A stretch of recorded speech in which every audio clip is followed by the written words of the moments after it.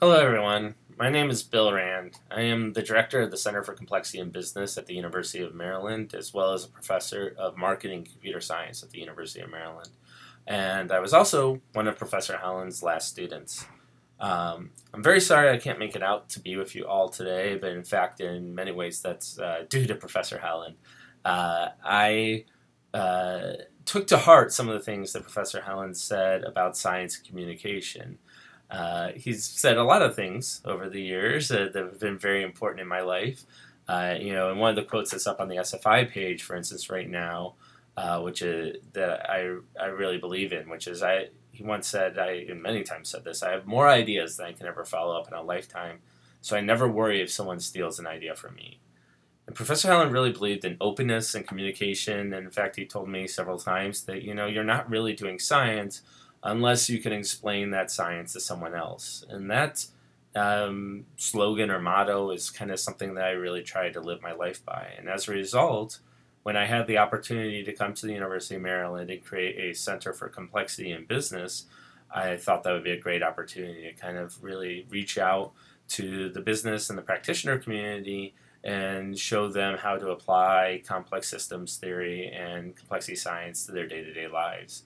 And so right now I'm not with you because I actually am at a meeting in Seattle trying to uh, garner additional support from a number of companies uh, who are interested in complex system science. But I did want to tell one quick story about Professor Holland. I think it kind of builds upon this notion about him being a great communicator uh, of science and, and, a really great explainer of science as a whole. Um, there's actually a chapter in my dissertation uh, that was very uh, has never been published uh, except in my dissertation and is very important to me uh, because it was something that Professor Holland uh, requested, demanded that I put in there. Um, he was the chair, a co-chair on my committee. Um, and so I uh, actually pulled it out. I have it sitting to one side here, my big dissertation book, which um, uh, and so now I'm going to read it verbatim. Just, just kidding. I'm not going to read the chapter. Uh, but I wanted to tell you the story. So the story um, is called "The Story of a Schema," and it's actually titled that way in the book. Uh, and what's interesting about this is that you don't normally think of stories as being uh, terribly scientific or very um, rigorous, right? Uh, but in this case, it was a great way to explain a number of complex phenomena to people. And so Professor Holland um, suggested that I put it into the dissertation. It's still there to this day, and it's one of the, best things I ever written that no one knows about. Um, and so uh, I wanted to describe to you basically what that story is. So for those of you who don't know what a schema is, it's a form of a building block uh, that contributes the overall uh, quality of a solution that you're trying to solve. You might think of it as solving a sub problem of a larger problem. Um, and within genetic algorithms, which uh, Professor Holland uh, created, schema are often considered to be distributed throughout a population. In other words, different individuals can solve some problems differently than other individuals, right? So some people know how to cook, other people know how to grow, other people know how to grow food, for instance, right? So they have different schemas that represent those abilities. Uh, and by putting a set of genetic operators over time, individuals combine different schema to solve a problem that none of the individual schema can solve on their own. So a farmer can eventually learn to cook their own meal, right, by combining these two different schemas within the overall system often there are multiple copies of the same schema present, right? So maybe many people know how to cook, and maybe many people know how to farm, right? And it's just a matter of getting those individuals together to create that farmer cook. And one of the remarkable things about a piece of work that Professor Holland did, known as the schema theorem, is that it explained how these schema can accumulate to solve a much larger problem than any of the individual schema can solve on their own. So, Given that little bit of background, let me get back to my dissertation. And one of the experiments in my dissertation, we found a, a particular schema, schema number three, we called it, that went from one copy of itself within the population to five copies in one generation. Uh, and that was uh, seemed like an unlikely event. And I showed these results to Professor Holland, and he said, "Well, you should go and figure out how did that actually happen? How did you have this one schema that created five copies of itself, especially when it's the actual overall problem is solving wasn't that useful. Um, so I went back, I built a whole new set of code to kind of allow me to trace all these interactions that the individuals were having in the system. And what I found out is that schema th- 3 was a particularly lucky schema, but not outside the realm of believability. Uh, first of all, it had a relatively low fitness compared to some of the other schema. In other words, the problem it was trying to solve was not as uh, hard or as difficult a problem to solve as some of the others, and it didn't solve it terribly well. But it managed to compete against a bunch of other schema uh, who were even worse off than it was. Um, in other words, it didn't solve a very important problem, but compared to other schema, its problem was more important.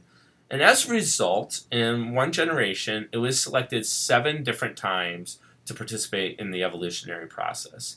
Uh, given its fitness and all, this wasn't terrible. wasn't it wasn't likely. Uh, but I did the math out, and I figured out that it should have happened about two times out of every hundred times that you tried this particular result. So you know, it had about a 2% probability of occurring. In this particular case, we saw it actually happen. Moreover, what was interesting is the way it was then evolved into the next generation.